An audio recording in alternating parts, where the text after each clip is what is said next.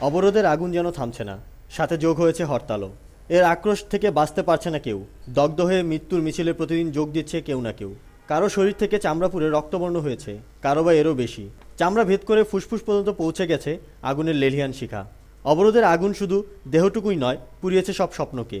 এই স্বপ্ন পোড়ার শিকার হলেন আরও তিনজন।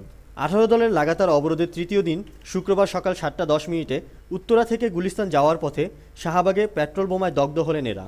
পরে তাদেরকে ঢাকা মেডিকেল কলেজ বার্ন ইউনিটে ভর্তি করা হয়। তিনজনের মধ্যে আশঙ্কাজনক দুজনকে আইসিইউতে চিকিৎসা দেওয়া হচ্ছে। ঘটনার প্রত্যক্ষদর্শী আহত বাস চালক বাবুল হাওলাদার বিডি হেডলাইন্সকে জানান, রাস্তার পাশে দুজন ব্যক্তি হঠাৎ করে চলন্ত বাসে একটি বোতল ছুঁড়ে মারে। আবতুল্লাপুর থেকে গুলিস্তান যাচ্ছে গাড়ি নিয়ে। গাড়ি খুব স্পিডে ফট করে দেখলাম দুইটা লোক দাঁড়ানো।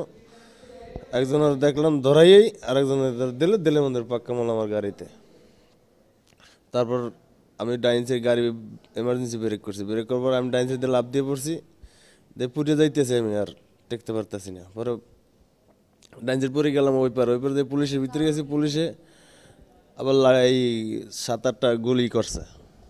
সাত আটটা গুলি করার পর আমি আবার দৌড়ে আইছি গাড়িতে। বাবা মালামাল কেনার জন্য বাসা থেকে বের হয়েছিলেন। কিন্তু পেট্রোলের জ্বলন্ত আগুনে ঝলসে যায় তার শরীর। আমাদের আর্থিক অবস্থা খুবই অসচ্ছল। জানি না কতটুকু পারব।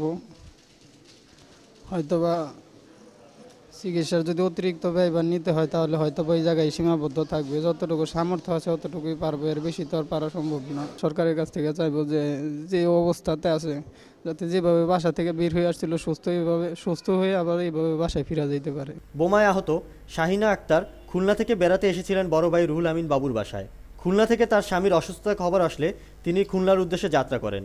তার বড় ভাইয়ের সাথে কথা হয়ে বিডি হেডলাইন্সের। সিক্সটি ফোর পার্সেন্ট বার্ন হয়েছে ডাক্তার বলছে। এই আর কি। এখন ডেঞ্জার জোনে আছে আল্লাহ আপনাদের দোয়াই আমার সবার দোয়াই যদি ভালো করে আর কি।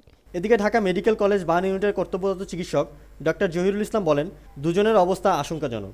ইনজুর্ড হয়ে তিনজন পেশেন্ট আমাদের এখানে ভর্তি হয়েছে। তার মধ্যে দুইজন যাত্রী আর একজন ওই বাসটার চালক। তো যাত্রীর মধ্যে একজন পুরুষ যাত্রী যার forty eight percent flame burn with inhalation injury অর্থাৎ শ্বাসনালী পুড়ে গেছে।